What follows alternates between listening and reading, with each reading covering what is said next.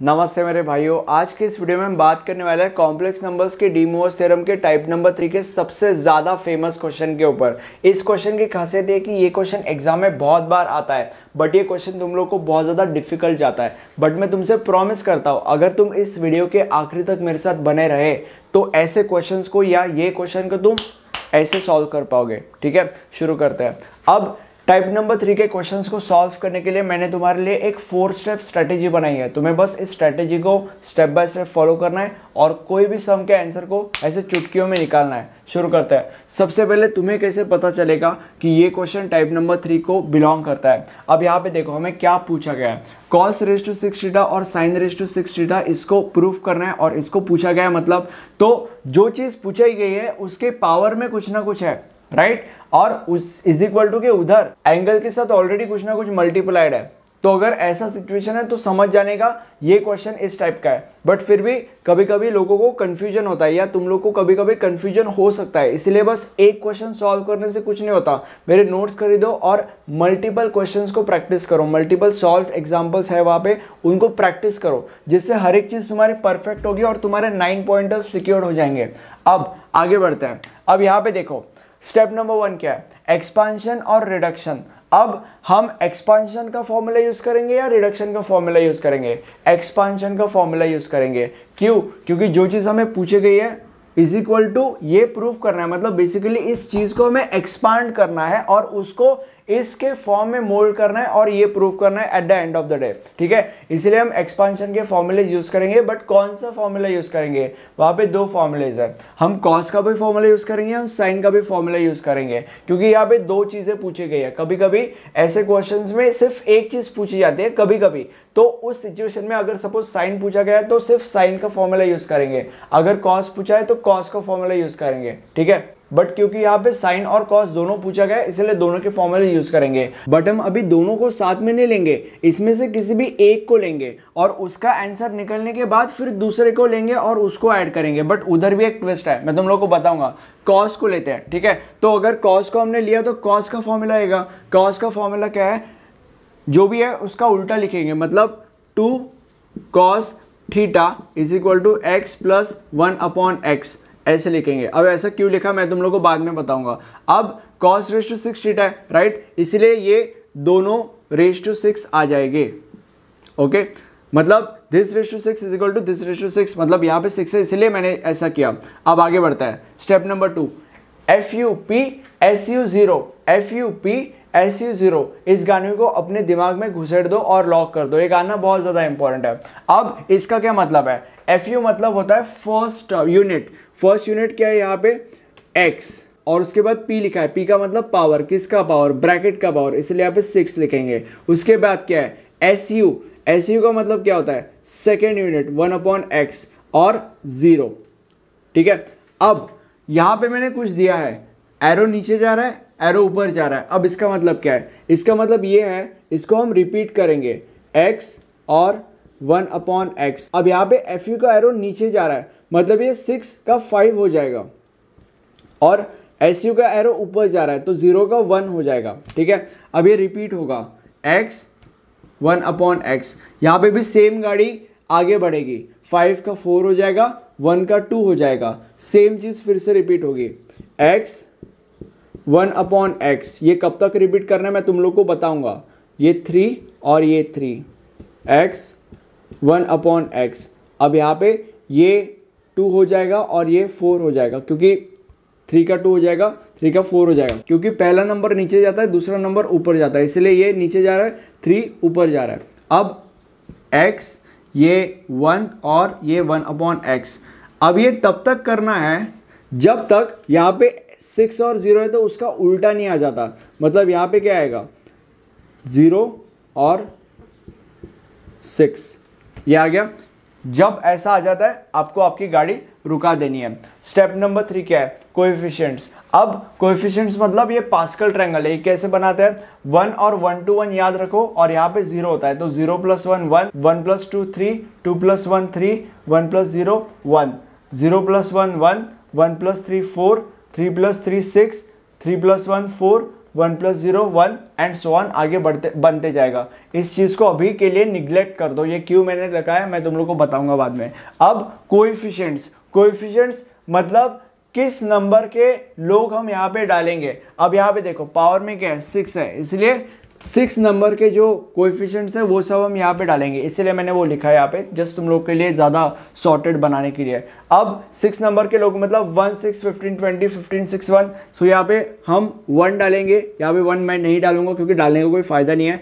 यहाँ पे सिक्स डालूँगा देन आगे फिफ्टीन, यहाँ पे फिफ्टीन डाल दूँगा देन ट्वेंटी, फिफ्टीन, यहाँ पे सिक्स, और यहाँ पे वन। वन डालने का कोई फ़ायदा नहीं है। आगे स्टेप नंबर फोर साइंस अगर पॉजिटिव है तो सारे साइंस पॉजिटिव हो गए। यहाँ पे पॉजिटिव है, इसलिए सारे साइंस पॉजिटिव हो गए। इसलिए यहाँ पे पॉजिटिव आएगा पॉजिटिव पॉजिटिव पॉजिटिव पॉजिटिव और यहाँ पे पॉजिटिव अब इसको हम थोड़ा सॉल्व करेंगे।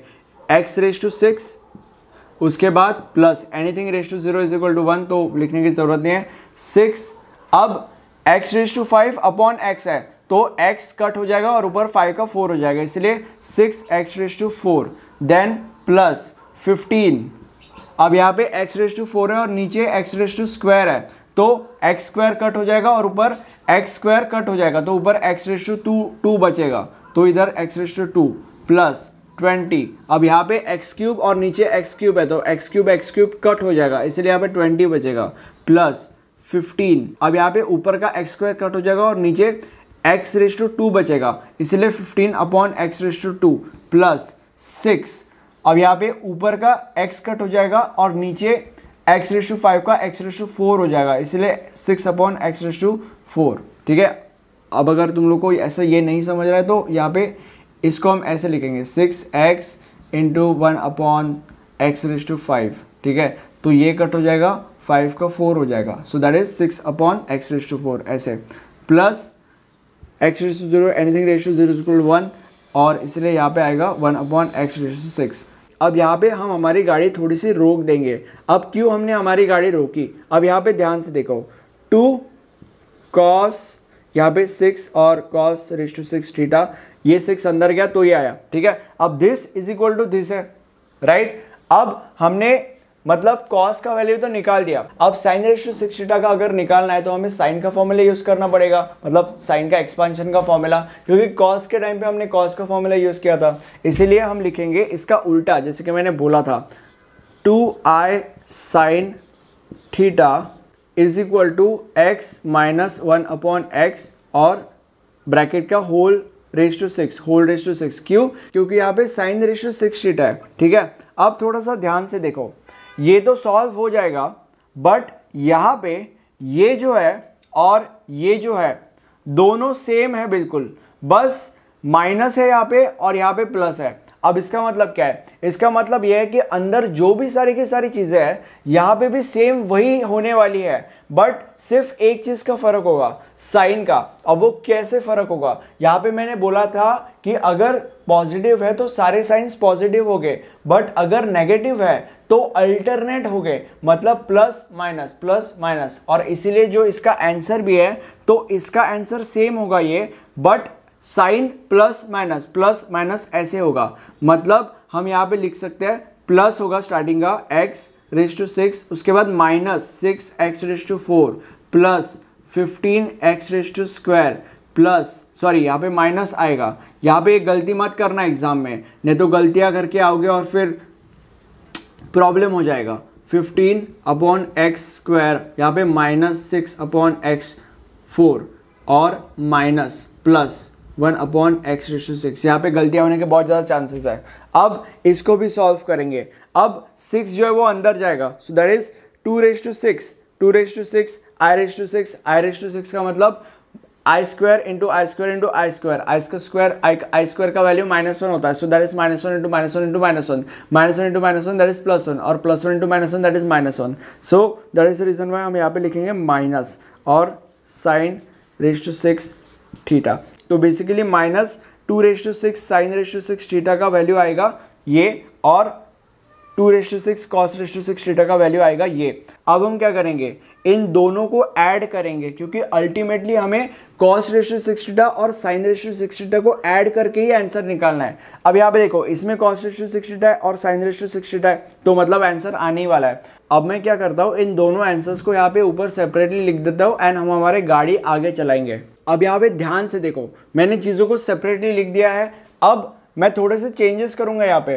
ये जो टू रेस टू सिक्स है, उसको मैं इधर लेके जाऊँगा। So that would be one upon two raise to six और ये ब्रैकेट में आ जाएगा। और ये minus two raise to six है, इसको भी मैं इधर लेके जाऊँगा। That would be one upon I mean minus one upon two raise to six और ब्रैकेट में ये हो जाएगा। अब इस माइनस को मैं अंदर लेके जाऊँगा तो सारे के सारे साइन से चेंज हो जाएँगे। इसलिए यहाँ पे प्लस था माइनस आ गया। प्लस माइनस का प्लस हो जाएगा। प्लस का माइनस हो जाएगा। माइनस का प्लस हो जाएगा। प्लस का माइनस हो जाएगा। माइनस का प्लस हो जाएगा। और प्लस का माइनस हो जाएगा। अब आगे बढ़ते हैं। ये रफ करना मत भूलना एग्ज़ाम में। या एग्ज़ाम में एक सेपरेट स्टेप लिख देना, ठीक है? वैसे तो नोट्स मैंने एकदम सिस्टमेटिकली स्टेप बाय स्टेप डाला है, फिर भी। अब आगे बढ़ते हैं।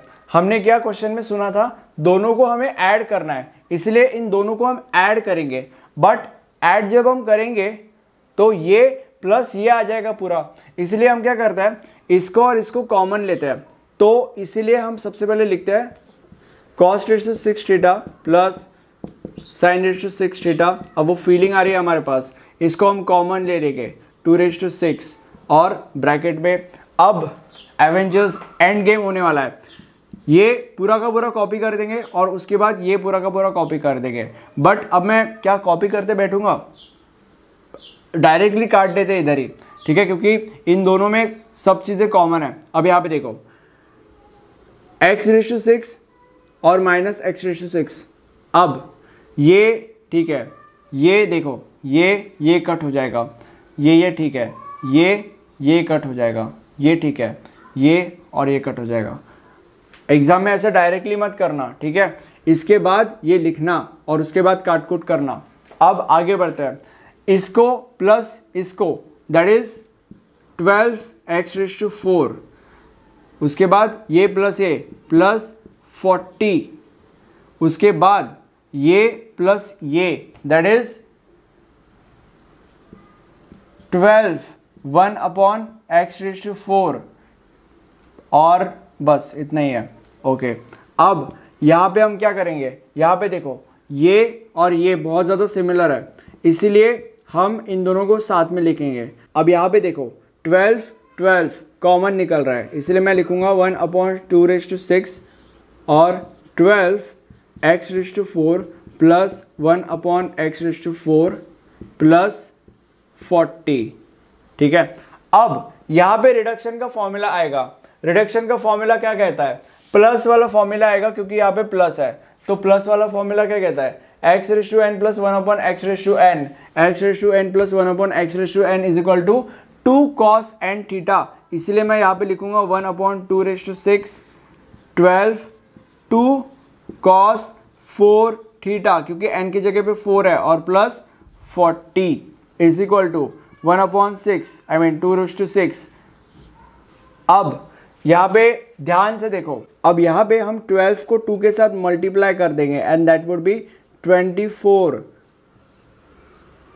cos four theta plus forty अब जो हमें प्रूफ करना है उसमें से हमारे पास कॉस फोर थीटा आ चुका है।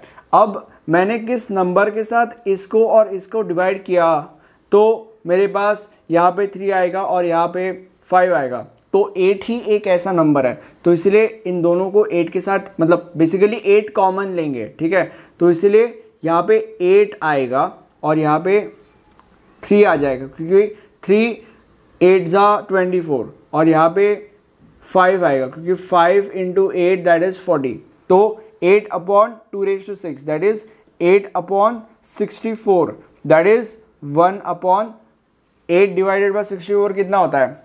Eight eight eight sixty four ठीक है? और इधर three cos four theta plus five hence proved अब मुझे कमेंट सेक्शन में बताओ कि तुम्हें ये वीडियो कैसा लगा। तुम्हारे आजू बाजू दो प्लेलिस्ट आएँगे। एक मॉडल वाइज प्लेलिस्ट है, एक सब्जेक्ट वाइज प्लेलिस्ट है। तुम्हें पता होना चाहिए कि तुम्हें मॉडल वाइज पढ़ाई करनी है सब्जेक्ट वाइज पढ़ाई करनी है। उस हिसाब से प्लेलिस्ट को चूज़ करो, उस प्लेलिस्ट के नोट्स खरीदो और पढ़ाई करने को चालू कर दो। Thank you for watching this video have a nice day bye